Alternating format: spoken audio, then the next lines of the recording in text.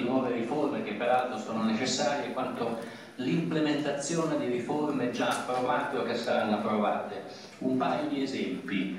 Eh, c'è un grosso problema, chiamiamolo così, di contenzioso tra Stato centrale e regioni che impedisce di sfruttare pienamente eh, fattori di riforma come la riforma della scuola, come la riforma della pubblica amministrazione. Già una semplificazione di questi due campi così importanti, riduzione del contenzioso, vorrebbe dire un'accelerazione della messa in pratica delle riforme, un risparmio nel farlo e una, quindi un accorciamento dei tempi entro i quali i benefici delle riforme si comincerebbero a sentire. Questo è un processo generalizzato, per non parlare poi dell'accelerazione del processo legislativo, in particolare per le leggi finanziarie, per la legge di bilancio e altri provvedimenti del genere, facilitati dal fatto che il Senato non avrebbe più competenza. Quindi io vedo moltissimi benefici.